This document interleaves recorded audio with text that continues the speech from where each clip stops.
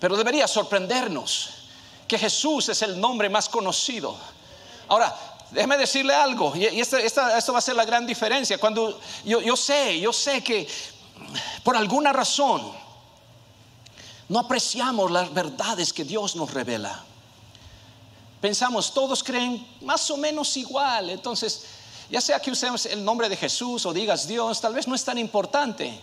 Si usted lee su Biblia, usted nunca diría algo así. Porque el nombre de Dios es supremamente importante.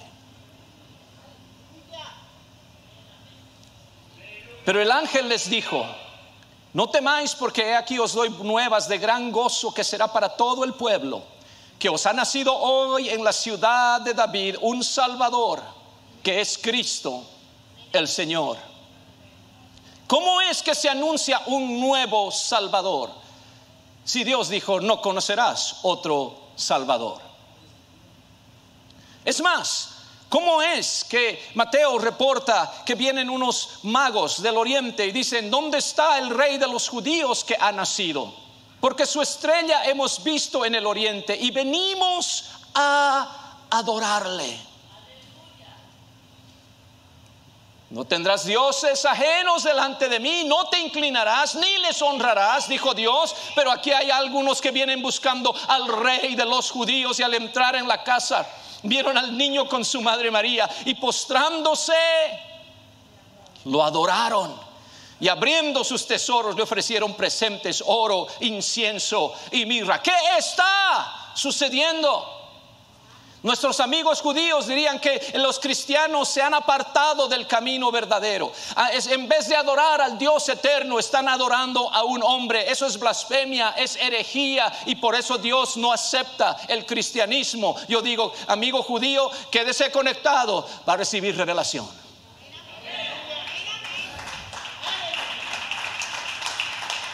Pero este bebé es adorado pero a través de la escritura, cuando la gente quiere adorar a un simple hombre, él, ese hombre no va a aceptar esa adoración.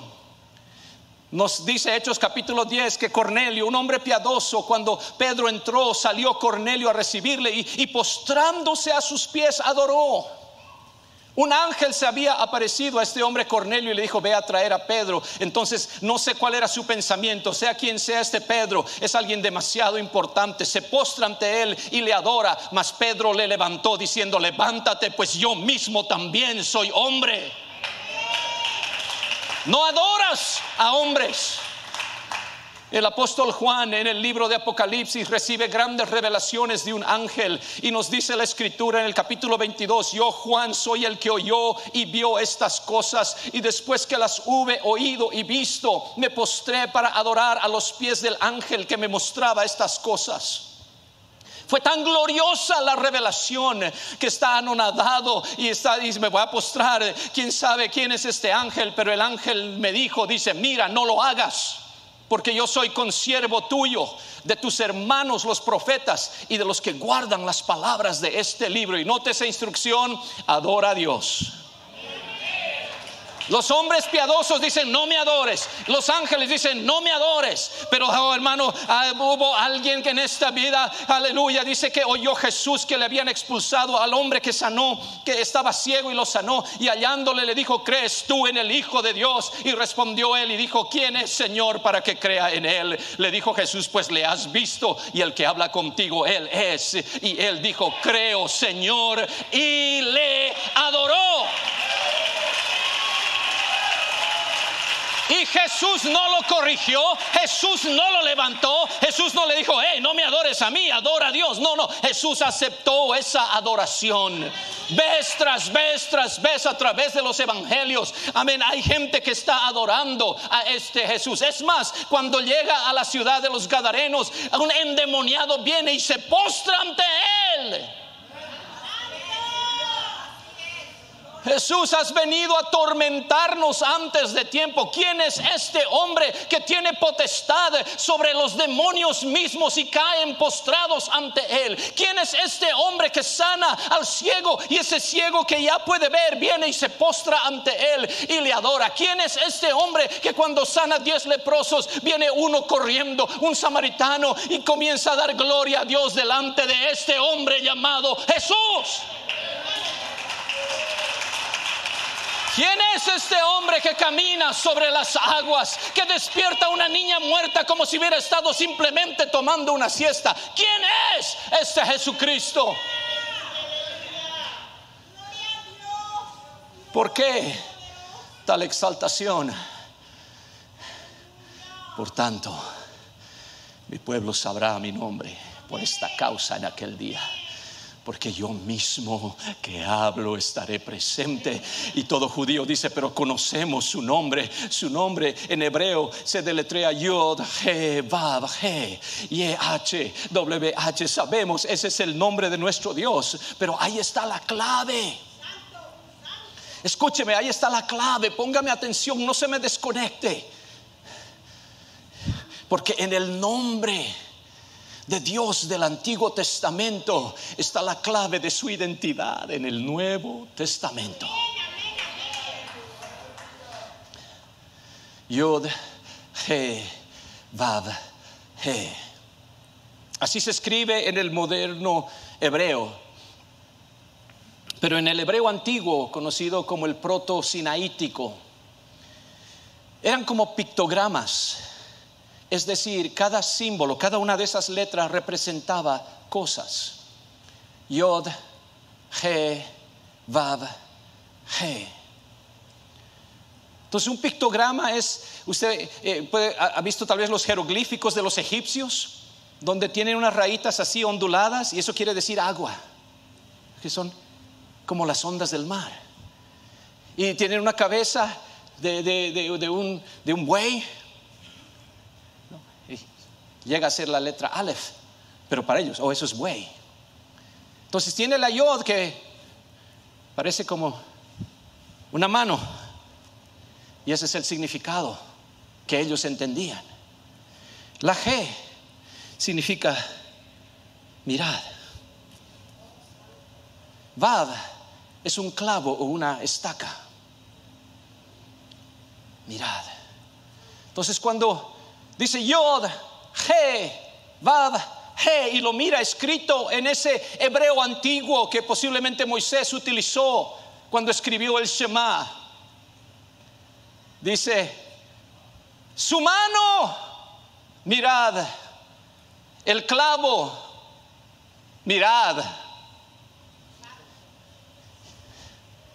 Y cuando mires su mano y mires el clavo, Tú sabes que ese es el Dios de Israel. Yod, He, Bab, He. Su mano, mirad. El clavo, mirad. Con razón cuando crucificaron al maestro los romanos tenían la costumbre de poner la causa de la crucifixión escrita encima de la persona. Si era un asesino, el letrero encima del crucificado diría asesino. Si era un rebelde en contra de Roma, eso es lo que ponían. Si era sedición, eso es lo que ponían. Cualquier crucificado tenía que llevar su causa para que todo el mundo pueda ver la vergüenza de esos, de esos hombres que eran crucificados desnudos y la gran ofensa que habían cometido en contra del gran imperio romano. Asesino, ladrón, sedicioso. Pero cuando crucificaron al maestro, dice, escribió también Pilato un título que puso sobre la cruz, el cual decía, Jesús Nazareno, rey de los judíos. ¿Qué clase de causa es esta? ¿No fue homicida? ¿No fue ladrón? Murió porque fue acusado de ser el rey de los judíos. Todos morían por algo que habían hecho. Todos morían por un pecado contra el imperio romano. Un solo hombre murió por causa de su identidad. Él era el rey de los judíos.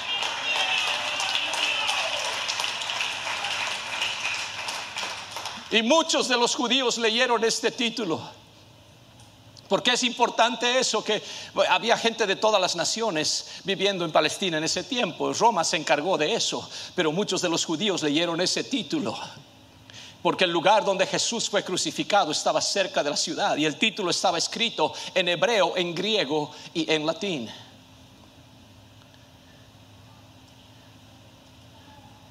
Entonces, un título sobre la cruz en hebreo, Yeshua Hanotzri Bumelech HaYehudim. En griego, Jesús ho Nazoraios ho Basileos ton Judaion. Y en latín, mi latín, Jesús Nazarenus Rex Judaeorum. Usted ha visto, especialmente mis amigos católicos, yo fui católico, el INRI sobre la cruz. En las capillas hay una cruz, hay una estatua de Jesús y, arriba, INRI, INRI, INRI, porque lo sacan del latín. Pero esto es lo que decía en hebreo. Yeshua, Hanotzri, Bumelech, Hayehudim, Jesús el Nazareno y Rey de los judíos. Pero hay algo que los judíos hacen constantemente, agarran frases completas y le sacan la primera letra de cada palabra y forman otra palabra. Los más grandes rabinos de la historia son conocidos por ese tipo de siglas, simplemente. Entonces, ¿qué hacen? Agarran la yod, agarran la primera letra, he, vad, he. Cuando los judíos miraron ese letrero, inmediatamente es costumbre de ellos, sacaron la primera letra de cada palabra Yeshua Hanotzri Bumele Hayehudim. Yeshua Hanotzri Bumele Hayehudim. Y poco a poco la revelación les llegaba. Yeshua Hanotzri Bumele Hayehudim. Yeshua Hanotzri Bumele Hayehudim. Ye H W H los judíos que estaban mirando de lejos su causa escrita sobre la cruz, lo único que miraron es YHWH. Lo crucificaron porque él lleva el nombre sagrado. Lo crucificaron porque su identidad es Yahweh de los ejércitos. Es el Dios de los judíos. Es el Dios del Shema. ¿Cómo es esto? ¿Cómo vamos a conocerte, Señor? Tu pueblo sabrá tu nombre. ¿Cómo vamos a reconocer? Mirad su mano. Mirad el clavo. Con razón, después de su resurrección, Tomás no lo había visto todavía resucitado. Pero él dijo, no puedo creer que él ha resucitado si no viere las marcas de los clavos. Y nos dice en Juan capítulo 20 que ocho días después estaban otra vez sus discípulos dentro y con ellos Tomás. Llegó Jesús estando las puertas cerradas y se puso en medio y les dijo, paz a vosotros. Luego dijo a Tomás, pon aquí tu dedo, mira mis manos, mira mis manos Mira mis manos y acerca tu mano, métela en mi costado y no seas incrédulo, sino creyente. Entonces, mi hermano, cuando miró sus manos y miró la señal de los clavos, entonces respondió y le dijo, Señor mío y Dios mío, mi Adonai, mi Elohim. Alguien debería darle un aplauso al Señor. Alguien debería ponerse de pie y decir, Jesús, Señor mío y Dios mío. Come on. Esto es revelación. Esto es revelación. En el nombre de Dios del Antiguo Testamento se encuentra la identidad de tu Señor y de tu Dios. No es una equivocación.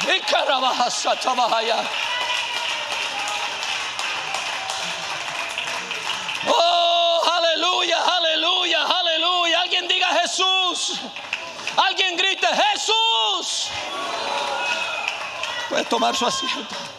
Aleluya. Aleluya. Mas yo soy Yahweh, tu Dios desde la tierra de Egipto. No conocerás pues otro Dios fuera de mí, ni otro Salvador sino a mí. Pero Pablo dice que estamos aguardando la esperanza bienaventurada y la manifestación gloriosa de nuestro gran Dios y Salvador, Jesucristo. Yahweh es Jesús que ha venido para morir por nosotros en la cruz. Nos dijo, no conocerás otro Dios, pero tenemos un gran Dios. Nos dijo, no conocerás otro Salvador, pero tenemos un gran Salvador, porque Yahweh de los ejércitos, Jehová de los ejércitos, es Jesucristo mismo, mi hermano, amigo testigo de Jehová. Por eso doblamos rodillas ante el nombre de Jesús y no solo nosotros, porque va a llegar el día cuando desde los cielos y hasta hasta lo profundo de la tierra, toda rodilla se doblará y toda lengua confesará que Jesucristo es el Señor para gloria